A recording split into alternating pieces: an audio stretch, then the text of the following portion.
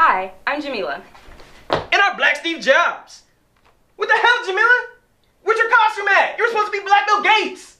I forgot. Son of a bitch. Welcome to the lunch break, where each week we cover the top five stories that matter the most to you. So, in honor of Halloween, this week's episode will focus on the best and worst costumes from the news. Theo, Who? Black Steve Jobs. In entertainment, the worst costume goes to Zoe Saldana as Nina Simone.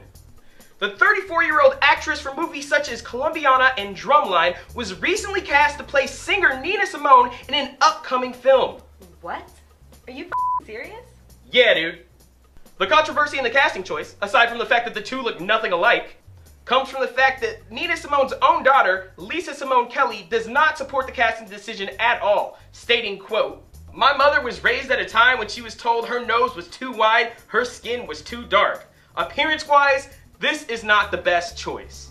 Shit, if Zoe Saldana could play Nina Simone, then I could definitely pull off Bernie Mac. I ain't scared of you motherfuckers! And my black ass will be starring in the lead role of Lena Horne in the upcoming biopic, Me So Horny. For more information about this story, you can check out the full article in the video description below. In politics, the award for the most poorly timed costume goes to Richard Mourdock as God's spokesman.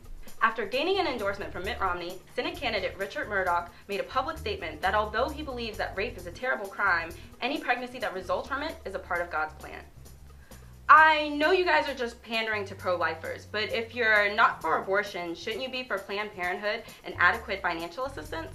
If all rape victims band together, carry to full term, and left their babies on Richard Mourdock's doorstep, according to the Rape and Incest Network, that'd be about 3,204 babies a year. That's mad rape, yo.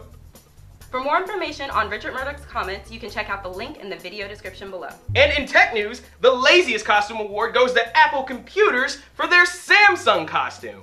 The corporation took a cue right out of Samsung's playbook by releasing a new product which is basically an existing Apple product with a few minor alterations. Last week, they released a new product, the iPad mini, which is basically a scaled down version of their existing product, the iPad.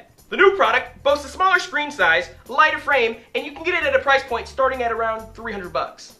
Or you can get it for the low ski like I did on eBay. Uh, Jamila, that's an iPod Touch. Yes, an iPad mini touch. iPad mini touch? That's that's not a thing. What's the problem? It's got a smaller screen, light framework, Wi-Fi capabilities. What's the fing difference?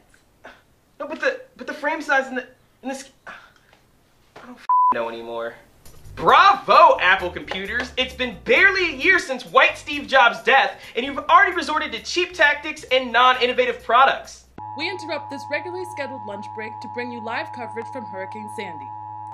Fucking hurricane! We now return to your regularly scheduled programming. And from the web, the award for best supervillain costume goes to Donald Trump for the evil philanthropist. Ha ha, you're fired.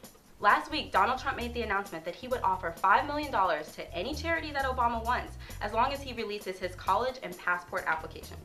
Out of all the Obama fantasies I have, I think the hottest one is where he finally tells Donald Trump to go f himself. I think a better proposal would be if Donald Trump were to say, Hey Barack, show me your college records and I'll kill myself. Please show me your college records, Barack. Obama played it off the next night on The Tonight Show. To check out the full video, you can click in the link in the video description below. And lastly, in music, the best costume goes to Kendrick Lamar as the new face of hip hop. Last week, the 25 year old rapper released his highly anticipated new album, Good Kid, Mad City. The album's got a lot of good reviews, but it's really weird. All his songs are filled with like poignant messages and insightful lyrics. I don't get it. I'm gonna need you to dumb it down a little bit, Kendrick Lamar. I need an ignorant song that I can shake it to up in the club with my lady. Something that'll make her dance. What would make her dance? Bands. Bands. Bands will make her dance. Bands will make her dance. Bands will make her dance. To check out a new track from the Kendrick Lamar album, you can visit a link in the description below. Alright, that's it for this week. Be sure to stay tuned for future episodes of The Lunch Break. Have a happy Halloween. Don't forget to like and subscribe, and have a great rest of your lunch break. Deuces.